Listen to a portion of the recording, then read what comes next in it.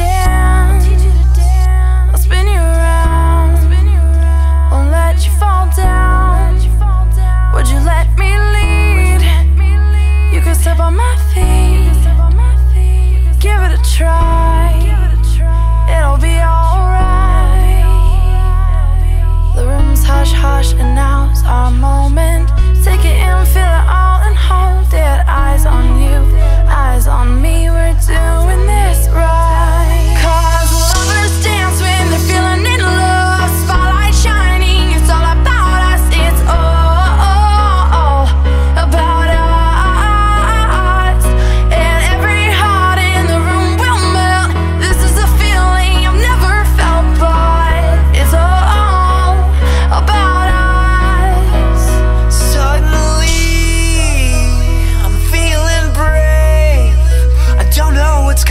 Into me why I feel this way.